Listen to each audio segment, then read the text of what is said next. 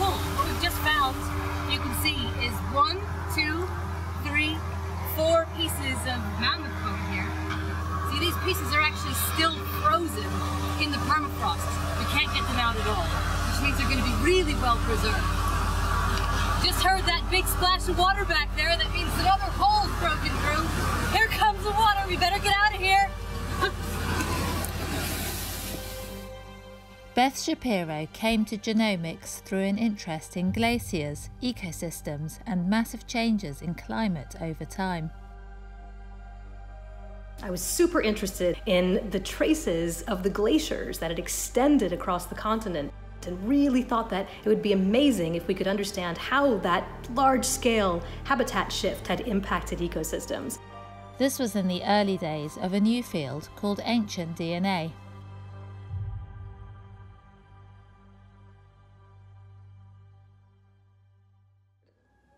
Okay. It had only just been discovered that DNA is preserved in the remains of organisms after they die. And it was just a, an amazing coincidence of opportunities. I ended up at Oxford University, where one of the earliest ancient DNA labs was, and had an opportunity to join this field. I actually had no experience at all in molecular biology at the time. In the early days, we could only access DNA using PCR, which meant that we needed to find relatively long fragments of intact, preserved DNA.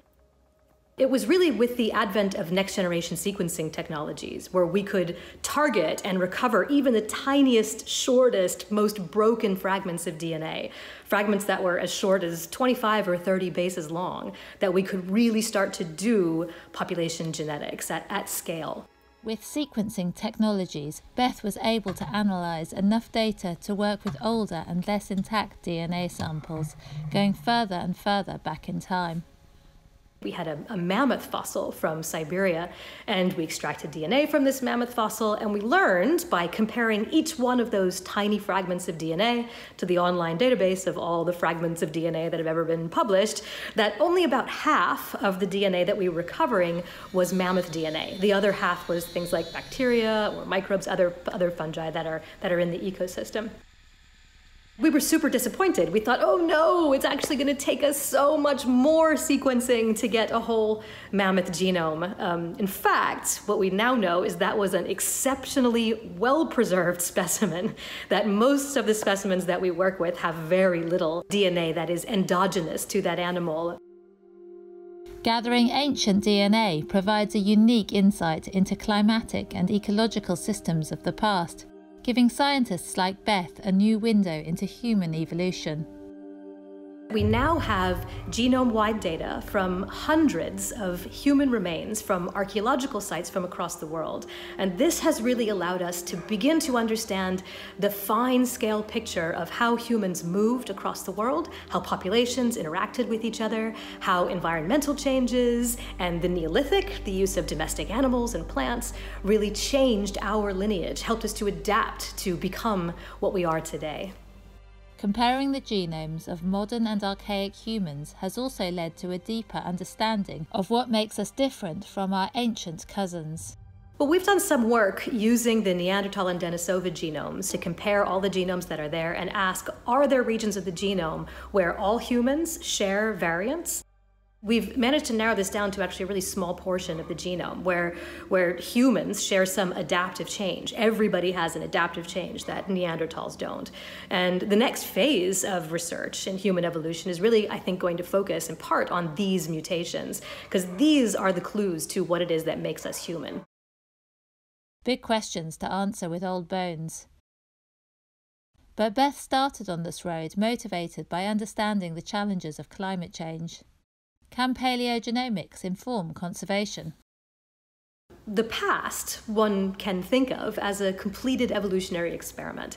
If we want to understand what happened during a period of rapid global warming, we only have to look as far back as about 10 to 15,000 years ago when the planet went through an extremely rapid warming event out of the last ice age. And this rapid warming event was associated with mass extinctions, with reshuffling of ecosystems and communities. And it would be great if we could use ancient DNA from the whole ecosystem, not just individual species species, but also from the plants and the microbes, to be able to better understand what it is that makes some communities more resilient in the face of this type of rapid climate change. From those first glimmers in frozen bones, ancient genomics has exploded into a thriving field as new technology makes it possible to ask deeper questions about where we came from and where we are headed. Recently, there's been a rapid development of technologies to just get a piece of dirt, either from a core that you stick into a lake, or cores that you stick into frozen dirt, or even just going and collecting sediments from the bottoms of caves. And being able to recover even population level information just from DNA in that bit of dirt. And this is an amazing resource for looking at the entire community, not just the individual whose bone happened to be preserved, but the plants and the animals and the microbes, everything that was interacting to make that community what it was. And this is how we're really going to begin to get insights into what allows these ecosystems to be more resilient. These insights that will be helpful as we begin to make uh, more informed decisions about how to protect and preserve ecosystems in the present day.